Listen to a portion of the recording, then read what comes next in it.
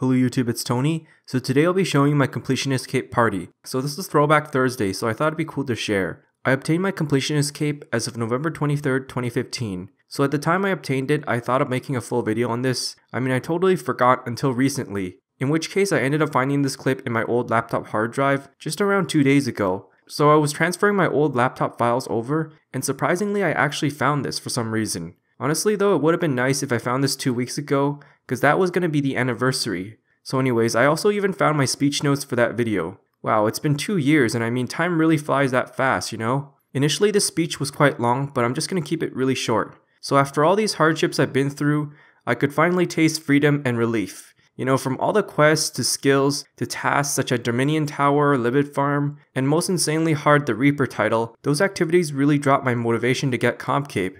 Now the hardest completionist cape requirement I had was finding a team on raids. Honestly, it took me several tries, and at that time, I didn't really have that many friends that could help me, you know? So in the end, I got my Yakamaru kill from one of my friends in the Max clan. Honestly though, I never thought coming to that day, and even earlier than I expected that I've completed all the requirements. So somehow I remembered the first day I played RuneScape, this was because my best real life friend introduced it to me, like way back in 2006 or something. And guess what? I had no clue how Tutorial Island worked, and I had to come to his house to help me get it done. Then as time came along, I got hacked a few times. Unfortunately, I was never able to get membership because my parents never wanted to pay for that. And I mean, as a kid, I didn't have a credit card obviously. Then came around 2009 when I finally got my first taste of membership. And yeah, that was pretty fun actually. However, two weeks later I got grounded, I forgot what happened, in which case I ended up quitting. So fast forwarding 5 years later, I came back to this game, and I had absolutely no idea how the new system worked.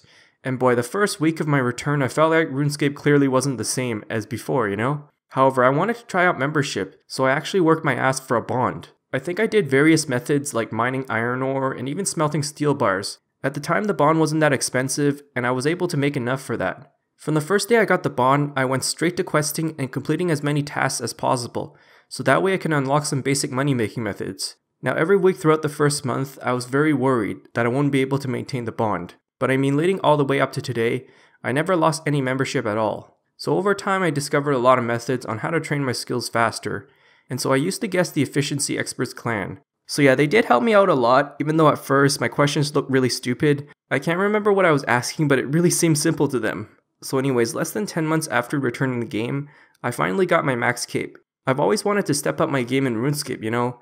It's something that I dreamed of as a kid, but yeah, I think there are a lot of accomplishments I've done leading all the way up to today. Although I haven't been wearing the comp cape for about a year or so, I mean the requirements got bigger and bigger, I'll still remember this clip as something I had to work really hard on, you know? Like really, really, really grindy. I believe at the time I was grinding for comp cape, I was mostly motivated by its stats, and not necessarily its looks. Nowadays, I haven't really been doing the new requirements, as I'm almost done all my combat skills to 200 mil.